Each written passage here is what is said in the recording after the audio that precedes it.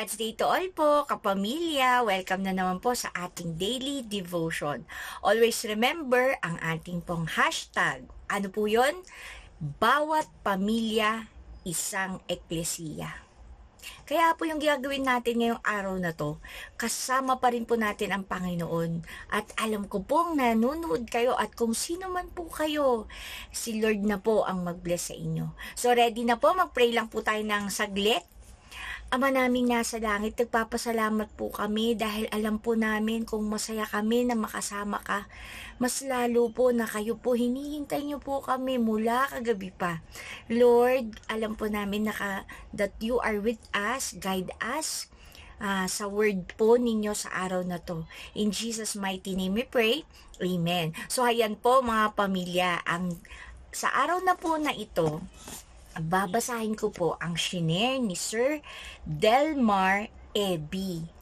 At bago po tayo magsimula, gusto ko pong i-share yung motto dito na pwedeng i-motto natin sa buhay. Sabi niya doon, Your life is God's gift to you. Tandaan niyo po ha, ang buhay niyo po ay regalo ng Panginoon para sa inyo. What you do with it sa buhay niyo is your gift to God. Ayan! Kung ano pong gagawin ninyo sa buhay ninyo, ay regalo nyo naman sa Panginoon. So, ready na po ba kayo sa ating uh, devotion ngayon? Ang title po niyan is Devotion and Service. Mamamangha po tayo at maliliwanagan kung ano ba talaga ang devotion and service. At ang verse po natin is taken from Luke chapter 10 verse 42. But one thing is needful, and Mary has chosen the good part. O, ano na pong naalala nyo? Siyempre po, si Mary, ang kanyang ate ay si Martha, Martha, Martha. Isa po sa mga Bible stories na hindi nakakaligtaan o hindi napapalampas ang bawat Bible teachers o nag sa Sunday school. So ready na po tayo dahil meron po tayong ibang matututunan sa story na to today. So ayan, sabi niya, Mary, Martha, and Lazarus, special friend of Jesus, lived in Bethany. Ayan, magkakapatid po sila. Jesus always expected the welcome there. And when they had needs, they felt free to call on Jesus. So, ganun po sila kadikit kay Jesus Christ na to the point na pagpupunta si Jesus Christ doon, alam ni Jesus na welcome siya. Bakit? Uh, maaring dahil nga po uh, pagdating may pagkain, ine-entertain, ramdam na ramdam nila yung hospitality sa bahay at sa magkakapatid na yon. At ganoon din naman po yung magkakapatid kay Jesus. Parang open na open po yung kanilang uh, pagkatao, talagang transparent sila kay Jesus, kaya sinasabi na nila yung gusto nila sabihin, kadikit na nila in short. O, anyari? Ayan. So, dito po, sa second paragraph, sabi niya, the sisters' personality were very different. Alam po natin yan sa storya. Martha was bustling. Yung bustling po, bustling person, ibig sabihin, siya po yung very active lively, yung mga uh, yung mga uh, ginagawa gawa siyang gawa, ganun po yung style niya. Kaya po iba-iba tayo ng personality na ginawa ng Panginoon.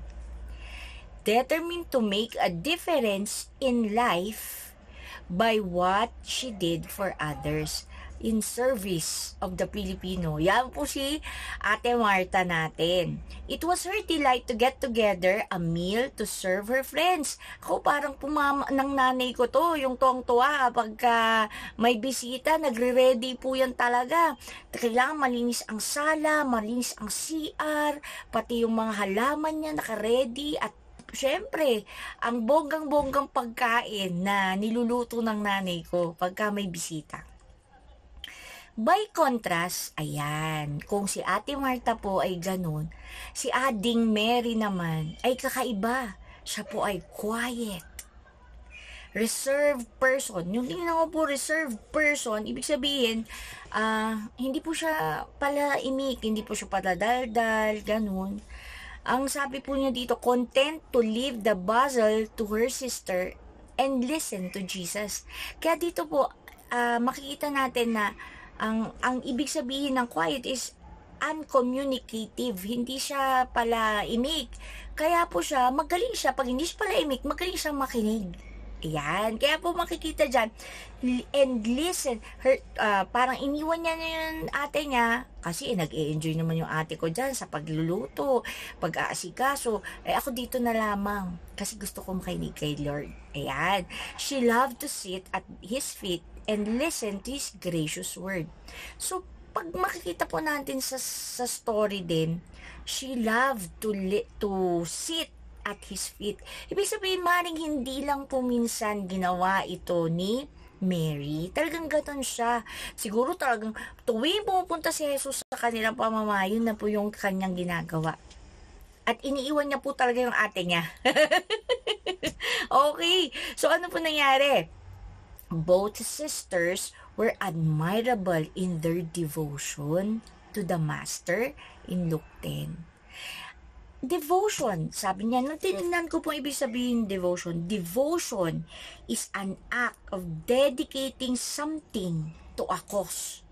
Kaya po dito makikita natin na uh, yung dedication mo, yung commitment mo, yung faithfulness mo na ginagawa mo na may dahilan hindi ka naman gumagawa ng kahit anong bagay na walang dahilan lang, di ba? So, yun po. Devotion, sabi niya, yun yung devotion natin, yung ginagawa mo dahil mahal mo ang Panginoon. Ginagawa mo ang mga bagay-bagay na ginagawa mo as your dedication, your commitment to the Lord. O, eh ano ngayon? Eto na po. But when things did not happen as Martha thought they should, she became irked by what she thought was Mary's laziness. Ayan, may mga bagay po talaga dumadating ang panahon na kaya mo yung yung load, ba? Parang kayang-kaya niya yung load. Eh siguro itong time na to na overload po siya ng work. At dahil po doon, ako nairita po siya, na-annoy siya, na naasar siya, na nakita niya yung kapatid niya, paupo-upo lang doon. Eh, samantalang gano'n na siguro talaga ginagawa ni Mary. Eh, itong si Martha, ayan, nagpanting po ang kanyang ano. How could Mary sit there so placidly and leave Martha with such a load? In her perturbed spirit, she chided the master. Pero mo, sinabi niya kay Lord, Lord, wala ba ko po kayong pakialam na yung kapatid ko, iniwan niya ako para mag-serve lang mag-isa?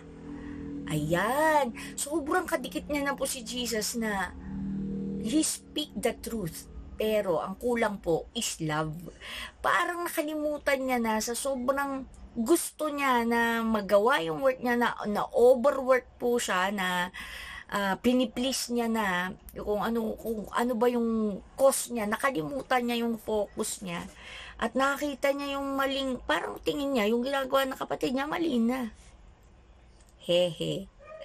Pero, Jesus answered gives us an insight into devotion. Yun po yung yung pagkakasabi doon ng Panginoon. Hindi hindi niya kinakampihan lang si Mar- si Mary. Pero this time, yung devotion ni Martha ay parang nag-sway, mga kapamilya. Kapag daw po, sabi niya, devotion does not encumber us. Ano po yung ibig sabihin ng encumber us? Hindi daw po yun dapat maging pabigat sa atin. Oh. Uh, sabi niya pa, it is not burdensome. If we allow our labor to trouble us, oh, then we have lost the spirit of devotion that should fuel our service to the Lord.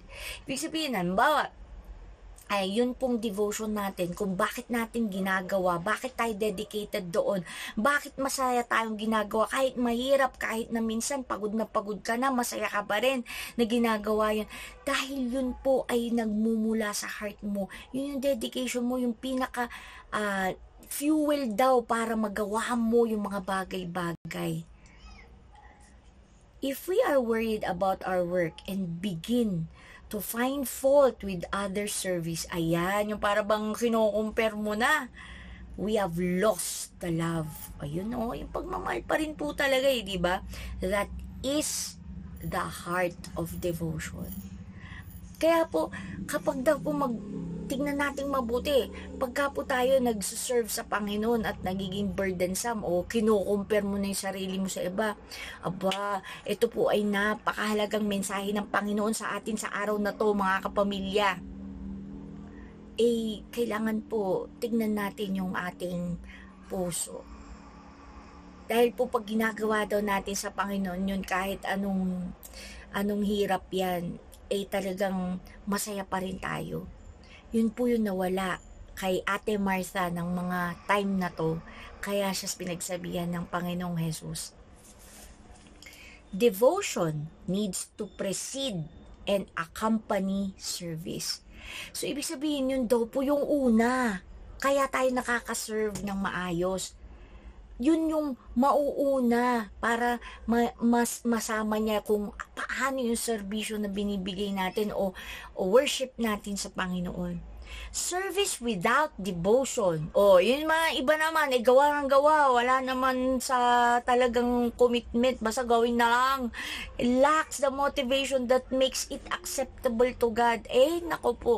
Simple lang po tayo pag nagsaserve lang tayo para lang para lang mag-serve na walang walang devotion o walang passion, walang talagang dedication sa Panginoon. Kaya po mauuna yung dedication, yung commitment para maging kaaya-aya ang ating service sa Panginoon. O, tandaan po natin yan, ha? Devotion without service, eh, pagka naman panay devotion ka naman, pero wala ka namang na ilalabas na serve sa Panginoon o uh, na i na i-offer sa Panginoon na service lacks that which makes it a blessing to other. Kaya nakukulang naman parang parang hindi makita yung blessing blessing ng isang tao na may devotion sa Panginoon pag kulang naman ng service. Kaya po yan, devotion and service goes together. Mauna po parate yung devotion natin which which consists of our our heart, our commitment to the Lord bago yung servisyo natin para makikita yung totoong biyaya ng Panginoon sa service natin. Ayan, ang ganda po, di ba? Yan. Kaya po sabi niya, John 12 again highlights Mary's devotion and Martha's service. So, both are devotion. Yun po yung, uh, yung devotion po ni Martha and uh, ni devotion ni Mary and Martha's service. Kailangan po magkasama yun. Pero ang sabi po doon, una ang devotion. Kaya po yung ginagawa natin ngayong araw na to, congratulations po sa atin dahil inuna po natin ang devotion natin sa Panginoon para mamaya magsuserve na tayo till the end of the day. And syempre po, huwag niyo pong kakalimutan, may 8 o'clock habit pa po tayo with Pastor and Teacher Olive. Okay? So, ayan po. Martha's service is also coupled with devotion. O, kaya po, unang devotion, bago ka mag-ano ng service. May we learn? Uh, may we learn the same. So, naintindihan po ba natin, mga kapamilya? So, ayan. Inuna natin ang devotion at mamaya we are ready to serve the Lord. Okay, so yan po ang ating uh, devotion for today. Pray na po tayo. Lord, salamat po sa pagpapaliwanag ng buong buo at napaka uh, totoo na dapat naming matutunan. Lord, as we go through this day, we thank you, Lord, for blessing us, Lord, with a heart na totoong nagsisik sa inyo, devoted to you. Help us to be committed, Lord, na sa lahat po ng gagawin namin, in every act of kindness, in everything we do, we say, we think, Lord God, will be our service to you. Thank you for the gift of life that you have given us. Help us to do the things you want us to do your will and your will alone. Lord, thank you sa araw na to. Guide us. In Jesus' mighty name we pray. Amen. Good morning po.